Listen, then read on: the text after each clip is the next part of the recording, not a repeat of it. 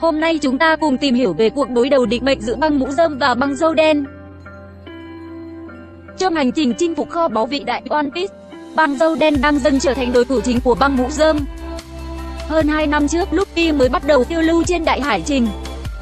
Tuyển mộ thành viên và hiện đang tiến vào tân thế giới. Cho đến nay, băng mũ rơm đã có 10 thành viên, tính cả Jinbei vừa mới gia nhập. Trong khi đó dâu đen đã cùng băng dâu trắng phiêu lưu một thời gian rất lâu trước đó. Hắn ta luôn nấp dưới cái bóng của huyền thoại dâu trắng. Cho đến lúc đột nhập vào Impel Down và tuyển thành viên từ tầng 6. Băng dâu đen hiện nay cũng có 10 thành viên, đúng bằng với số lượng của băng mũ rơm. Trong khi chúng ta đã biết về băng mũ rơm thì một số thành viên của băng dâu đen vẫn còn là một bí ẩn.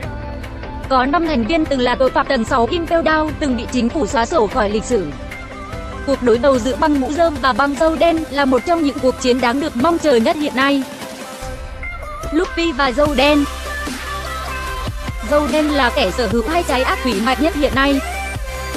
Zoro và Shiryu Cơn mưa Shiryu từng là giám mục trưởng ở Impel Down.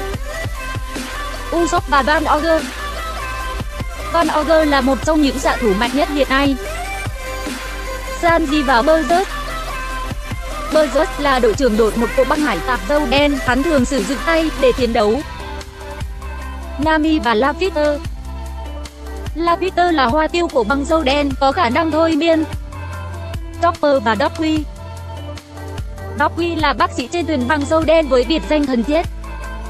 Robin và Katarina Devon Katarina Devon được gọi là nữ tội phạm tồi tệ nhất lịch sử. Brook và Avalo Pizarro Avalo Pizarro được mệnh danh là vua đồi bại. Frankie và Vasco Sot. Vasco Sot có biệt danh là kẻ nghiệt dược. Jinbei và Sanju Juan Úc Sanju Juan Úc còn được gọi là chiến hạt khổng lồ,